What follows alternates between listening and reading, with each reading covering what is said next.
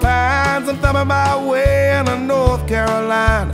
Staring up the road and pray to God I see headlights.